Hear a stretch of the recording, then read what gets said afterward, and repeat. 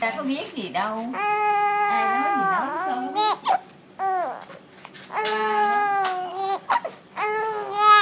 làm vậy cho cô giáo đánh chứ.